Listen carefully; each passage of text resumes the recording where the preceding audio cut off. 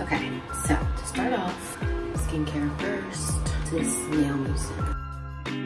Then my wash up. Next is a hydrating moisturizer. Little thing that comes with it. Just wash out again. Now be using these Patchology, yeah, Patchology um, eye brightening patches. I'm gonna take these off. This in. It's like a serum.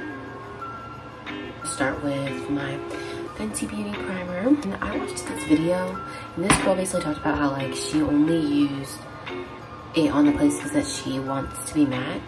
And I thought that was such a good idea.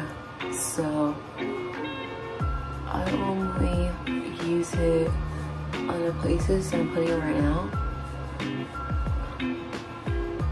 Like a little bit there. Because I don't want my whole face to be matte, so. Next to my all-time favorite foundation, Fenty Beauty foundation. It's in the shade 330 you the way you apply this is like only in certain sections because it gets dry really quick. Just like this much. And i'm gonna start with like right here and then just make my way out. My beauty blender which i wet and then like oxidizes so it gets a little darker. And just matches your skin tone perfectly. If you find like the right shade. I always go a shade lighter with the Fenty products because like I said like they oxidize and just get darker. And they perfectly match your skin tone. So you don't want to get one that's like exactly your skin tone in the bottle. Because when you put it on your skin it'll be dark. So going on to different sections of my face I'm just gonna keep applying.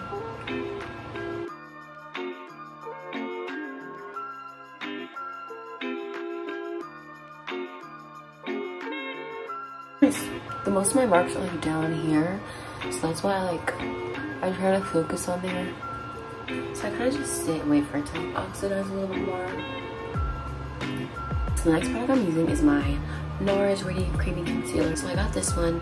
It is in the color caramel. I like to draw a line here. I saw this girl who did my makeup once do this. Draw a line there like that and then that. Okay, so I like it to be like a little tacky when I'm doing it so that it has like a little more coverage. That's why I let it sit. That look right there, because look at how it looks. Okay, so I'm still looking for a powder that I really, really like. So right now I'm gonna be using the Fit Me in this color. Like it's, it does the job, but I don't love it. You guys know it. So I'm gonna look up, well, not look up, like, make sure there's no creases under my eyes. And then pat, just like that. A little bit here. Like brush it, but I like pat it in like this. So now we're gonna move on to contour, which is probably my favorite part. For cream contour, I use the LA Girl Pro Concealer in the shade Chestnut and a little bit of the stuff you do not a lot, like you'll see. Because when I first used it, I used to put like way too much and if I had to blend it, I would keep blending.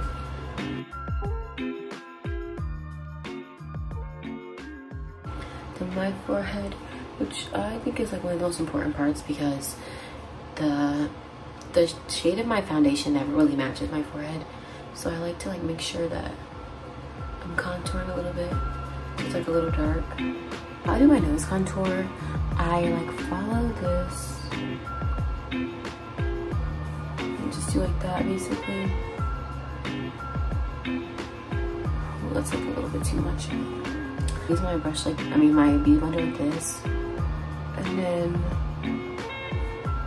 I use two different products and two different brushes to actually set my contour. So the first product I use is my Too Faced Chocolate Soleil Bronzer.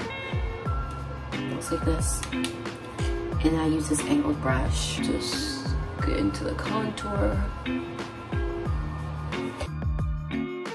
Next, I use this MAC um, NW40 Studio Fix.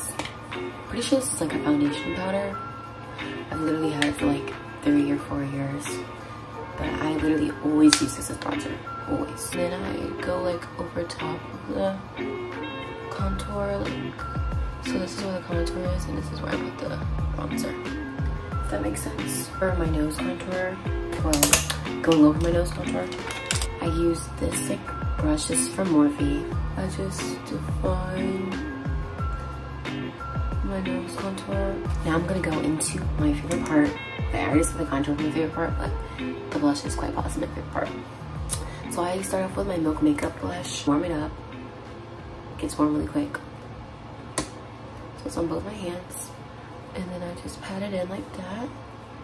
So I like to do mine in upward motion so that it like brings, snatches up my face more. I go over it with this MAC blush in Burn, literally scratched off. Burn something or another.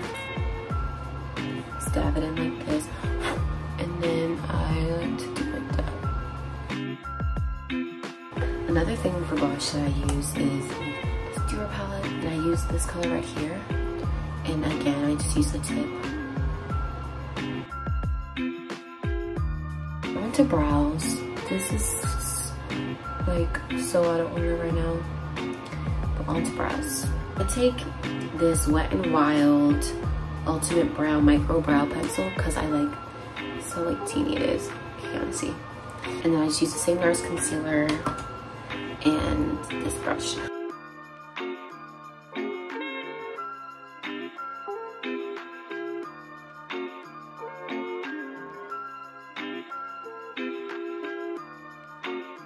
Next time I set my brows with this e.l.f. gel. Don't really think gel matters, personally. For highlight, take the same palette. I do these two colors. Last but not least is lips. So I'm gonna take this, just do like that. And then I take my Dior Lip Glow Oil.